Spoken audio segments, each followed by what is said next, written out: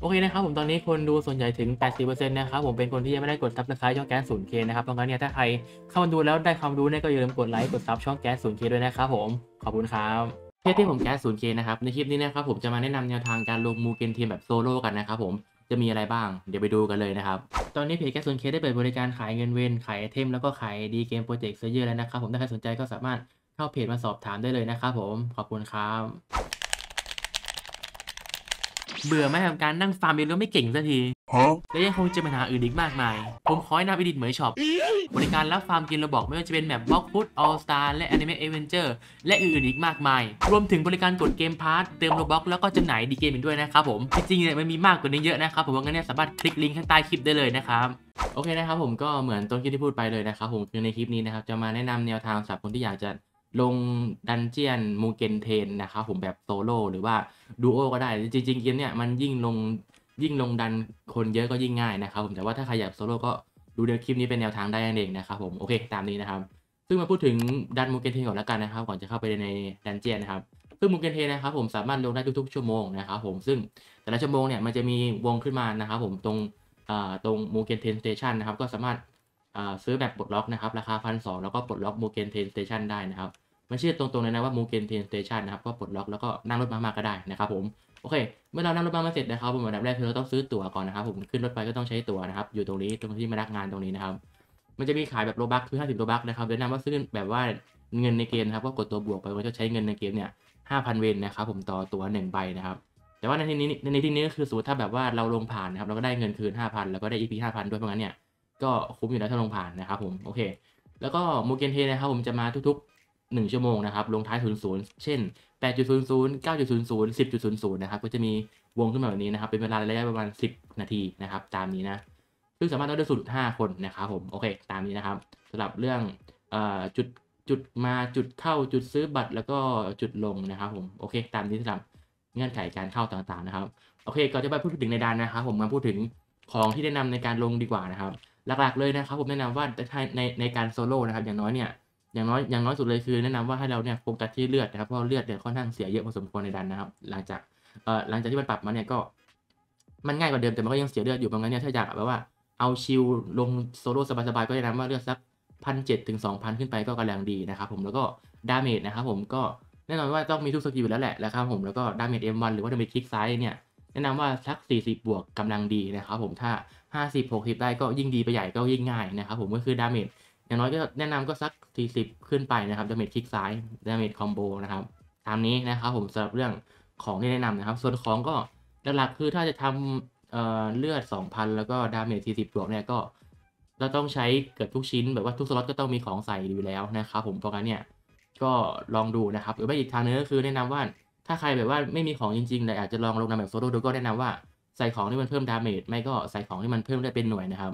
เอ่อพวก regen แบบว่า stamina regen heal regen เนี่ยมันไม่มีผลใน dungeon นะครับผมเพราะงั้นเนี่ยให้เราใส่เป็นในที่ที่มันเพิ่มได้โดยตรงไปเลยนะครับผมตามนี้สำหรับของสวมใส่แล้วก็ stat ที่แนะนำนะครับผมงั้นเราไปดูดันกันเลยนะครับโอเคนะครับผมหลังจากที่เราเนี่ยเข้าดันมาแล้วนะครับคือมันเนี่ยจะให้เราเอ่อรอนะครับผมรอเวลาที่แบบว่าเริ่มดันนะครับพอเริ่มมาแล้วก็ไปคุยกับเลนโกคุนะครับผมเพื่อเข้าสู่ dungeon นะครับก็คือ wave แรกนะครับผมหลังจากที่เราเนี่ยเข้าไปคุยกับเลนโกคุเสร็จแล้วนะครับมันจะให้เราเนี่ย เดินทางไปในเอ่อมิติมิติกระจกนะครับ ผมแล้วก็จะมีแบบว่าเป็น orb ไฟให้เราปกป้องใน wave แรกนะครับ ซึ่ง orb ไฟนี้นะครับผมมีเลือดทั้งหมดเนี่ยพันห้านะครับ วิธีการสู้ wave นี้ก็คือมอนนะครับมันจะมาทั้งหมดเนี่ยสี่ทางเป็นตัวบวกนะครับ ผมรอบรอบรอบรอบ orb ไฟนะครับเพราะงั้นเนี่ยเราก็ทำการตีมอนที่มันเข้ามาจะมาตีรถไฟให้เกลี้ยงนะครับ ผมแล้วก็ถ่วงระยะเวลาให้นานที่สุดนะครับ ระยะเวลาก็ 200 วินะครับ ผมก็ตรงนี้ก็แนะนำก็ไม่มีอะไรมากนะครับ ผมก็แค่ซูม ซูมกล้องออกกว้างๆนะครับผมแล้วก็วิ่งไปตีปกตินะครับคือถ้า damage ประมาณฮิตละ 40 เนี่ย ตีชุดหนึ่งก็น่าจะตายแล้วนะครับ ไม่จำเป็นต้องใช้ skill ก็ได้นะครับผมเพราะบางทีใช้ skill เนี่ย มันทำให้มอนตัวนั้นมันเด้งไปแล้วก็มอนตัวอื่นเกิด มันก็จะอาจจะแบบว่าจบมอนได้ช้านะครับผมส่วนใครถ้าอยากจะใช้ skill ถ้ามี skill hit ก็ใช้ skill ที่มันฮิตก็ได้นะครับเอาง่ายๆคือจบมอนให้เร็วที่สุดนะครับแล้วก็ข้อควรระวังก็คือมันจะมีมอนบางตัวที่เป็นแบบ boss นะครับผมเป็นแค่แบบเป็น boss เฉยๆที่มันมีเลือดมากเฉยๆไม่ได้มี skill อะไรนะครับผมเพราะงั้นเนี่ยก็ ถ้าเจอพวกมอน boss ก็ตีเป็นหนึ่งชุดก่อนแล้วก็ไปดูตัวอื่นว่ามีตัวไหนจะเข้ามาไหมก็ไปตีนะครับหลักๆก็คือโฟกัสรถไฟให้ได้ให้ได้ดีที่สุดนะครับผมเมื่อคืนหลักๆจริงๆมันพลาดได้เยอะแหละ แต่ว่าถ้าจะเอาชัวร์ก็คือพยายามซูมภาพออกกว้างๆแล้วก็ตีตามจุดแดงๆนะครับผมสังเกตจุดแดงๆของมอนนะครับในดันเจียนเนี่ยมันจะมีจุดแดงๆของมอนขึ้นให้นะครับเว็บแรกก็มานี้นะครับผมปกป้องออฟไฟไปเรื่อยๆนะครับจนกว่าจะครบเวลานะครับโอเคนะครับผมมาถึงเว็บที่สองนะครับนั่นก็คือเว็บที่เรานะครับผมให้เราเนี่ยปกป้อง ชาวบ้านนะครับผมในโบกี้รถไฟนะครับ ซึ่งตอนแรกเวลาเราเข้าไปเลยเนี่ยมันอยู่โบกี้แรกแต่ว่าแนะนำสำหรับผมนะครับคือให้ทิ้งโบกี้แรกไปเลยนะครับผมมาปกป้องโบกี้สองอย่างเดียวนะครับ เพราะว่าตรงโบกี้สองเนี่ยมันจะมีมอนเกิดเยอะกว่านะครับผมมันจะมาตี NPC เยอะกว่า แต่ว่าไอ้ตรงโบกี้แรกเนี่ย NPC มันจะแบบว่าประปรายมันไม่ได้แบบว่า ไม่ได้มีมอนเยอะเพราะงั้นเนี่ยมาโฟกัสมาโฟกัสตรงโบกี้สองดีกว่านะครับผมแล้วก็มอนเนี่ยจะเกิดตรงหน้ากับท้ายโบกี้นะครับเพราะงั้นเนี่ยก็สังเกตมอนดีๆนะครับมอนเนี่ยมันจะวิ่งไปตี ชาวบ้านเลยเพราะงั้นเนี่ยเราสามารถตีขัดมันเพื่อให้มันตามเราได้ แล้วก็เราก็เคลียร์ก็ได้นะครับ หรือว่าถ้าใครจบมอนได้ใน combo เดียวก็ตีให้จบ combo ไปเลยนะครับผมเคลียร์เป็นตัวตัวไปนะครับตามนี้นะครับผมสำหรับ wave สองก็คล้ายๆ wave แรกนะแค่เปลี่ยนรูปแบบก็คือมอนจะมาตี NPC นะครับแล้วก็ปกป้อง NPC ตามนี้นะครับผมสับเว็บสองก็ชงเวลาประมาณ 300 วินาทีนะครับโอเคนะครับผมต่อมานะครับเวฟสามนะครับคือหลังจากเราจบเวฟสองแล้วมันจะมีประตูเปิดให้เราเนี่ยไปเข้าประตูไปไปสู้กับ เอ็นมุในร่างในร่างปกติทั่วไปนะที่ยังแบบว่าเป็นเป็นเอ็นมุแบบปกติอยู่นะครับผมอะซึ่งเวฟนี้นะครับผมมันจะมีทิคเล็กๆน้อยๆนะครับผมมาฝากก็คือเอ็นมุนะครับผมมันจะมันจะไม่ไม่ตกรถไฟนะครับ ก็คือถ้ารถไฟเนี่ยมันจะมีข้างๆ ก็คือถ้าเราไปตีเอ็นมุไปตกข้างๆเนี่ยมันจะกลับไปเกิดข้างบนใหม่นะครับ เพราะงั้นเนี่ยให้เราเนี่ยตีเอ็นมุนะครับอัดมุมหัวรถไฟไม่ก็ท้ายโบกี้นะครับผมเน้นแนะนำก็คือ ให้ตีอัดมุมแบบว่ามุมตรงหัวรถไฟมันจะไม่ตกนะครับผมแต่ว่าถ้าไปข้างๆเนี่ยมันจะตกนะครับ แล้วก็ถ้าเกิดในกรณีที่เราตกเนี่ยเราสามารถสแปมปุ่มในคีย์บอร์ดได้คือปุ่ม G H J K L นะครับทั้ง 5 ปุ่มนี้นะครับผมเป็นปุ่มที่มันจะขึ้นมินิเกมให้เพราะงั้นเนี่ยถ้าเราสแปมไปเลยเนี่ยมันก็จะง่ายต่อการเเล่นมินิเกมเกมนี้มากๆเลยนะครับผมก็ง่ายก็คือตีเอ็นมุไปเรื่อยๆนะครับตีประมาณ 50%เดี๋ยวมันก็จะเข้าสู่เว็บต่อไปแล้วนะครับเว็บนี้ก็คือเอาง่ายคือ สู้บอสแหละแล้วก็มีมินิเกมก็คือให้เรับสแปมปุ่มทั้ง5ปุ่มตามนี้ง่าย ๆเลยนะครับโอเคนะครับผมพอเราผ่านเว็บเอ็นมุที่มันเป็นร่างปกติแล้วนะครับผมมันจะเข้าสู่เว็บต่อมาคือเป็นเอ็นมุร่างตัวใหญ่นะครับร่างมือนะครับ ซึ่งเอ็นมุร่างนี้นะครับผมมันภารกิจของมันก็คือให้เราเนี่ยฆ่ามันเลยนะครับ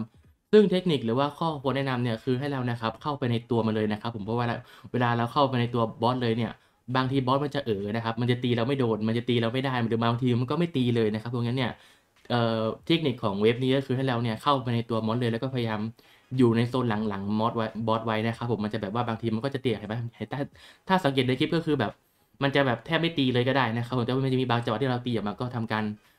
กลับเข้าไปใหม่นะครับผมดูดูเลือดดีๆนะครับ เพราะว่าการตีเบี่ยงมือของมันค่อนข้างแรงพอสมควรนะครับผมโอเคแล้วครับผมแล้วก็ข้อควรระวังของเว็บนี้นะครับคือหลังจากที่เราเนี่ยฆ่าเอ็นมุตัวใหญ่เสร็จแล้วนะครับผมพอกลับไปใน พอกลับมาในโลกปกติหลังจากนี้คือโลกความฝันใช่ไหมถ้าเรากลับไปโลกปกติเนี่ยมันจะให้เรานะครับเล่นมินิเกมอีกครั้งหนึ่งนะครับผมแล้วก็เตรียมสแปมปุ่ม G H J K L เหมือนเดิมนะครับเหมือนกับตอนที่เราเนี่ยตกตกรถไฟใน wave ก่อนหน้านี้เลยนะครับเพราะงั้นเนี่ยก็ดูดีๆนะครับโอเคนะครับผมพอเรา spam mini game ตอนที่เรากลับมาสู่โลกความจริงเสร็จแล้วนะครับผม wave ต่อไปก็จะเป็น wave ของอาคาสะหรือว่า boss สุดท้ายนั่นเองนะครับซึ่ง wave นี้นะครับผมก็เหมือนกับเราเนี่ยสู้กับอาคาสะใน world สองปกติเลยนะครับผม skill ทุกอย่างเหมือนกันหมดนะครับผมต่างกันที่ เลือดอย่างเดียวนะครับ แต่ว่าเลือดเนี่ยเราตีไปแค่ประมาณประมาณ 50%นะครับผมมันก็ถือว่าเคลียร์ดันแล้วนั่นเองนะครับผมตามนี้นะครับสำหรับเว็บสุดท้ายก็ไม่ได้มีอะไรยากเลยนะครับ ก็พยายามหาหินนะครับ ผมที่แบบว่าหาหินที่มันกระโดดขึ้นได้นะครับ ผมเวลาเราจะกระโดดปั๊มยากระโดด